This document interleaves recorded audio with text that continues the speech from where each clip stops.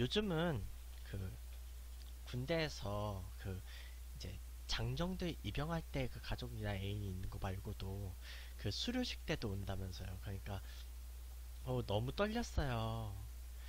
어 글쎄요. 그 좋은데 저는 이제 그때는 306 보충대대가 운영이 되고 있었을 때였어요. 그래서 그때 저는 이제 가족들하고 같이 갔었는데 음 그때 이제 국민의리하고 뭐, 뭐 그- 그냥 이래저래 노래 하- 그냥 뭐 예식하고 뭐 군가 부르고 그 다음에 이제 장정들을 그 실내로 딱 그 집결시키는 순서가 있어요. 그 가족들 딱 한번 안아, 안아주고 그때 하고 그 다음에 이제 보충대대에서 3박 4일을 있었는데 그때 뭐 부모님들 와가지고 뭐그 난수 추첨하고 예.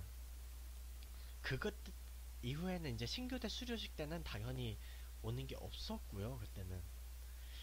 근데 지금은 있다고 하니까 이게 세상이 점점 조- 좋아지는구나. 아니, 저는 그래서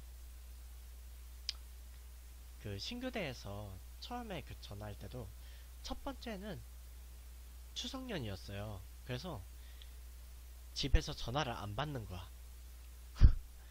그래가지고 나는 이제 그렇다고 내가 좋아하는 사람한테 연락을 하기도 그랬으니까. 그래서 차마 연락을 못하고 딴 사람들한테 연락을 하다가 말았거든요.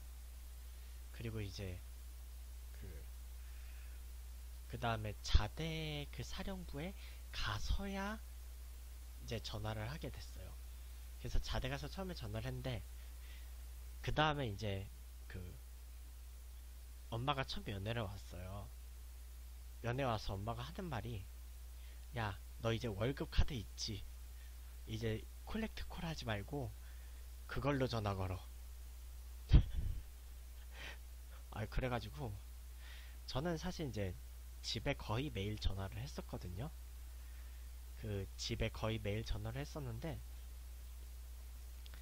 그 그래서 제 월급의 한 반 이상은 전화요금으로 나갔을 거예요. 그 다음에 제가 이제 PX에서 사먹는 거 한 30%.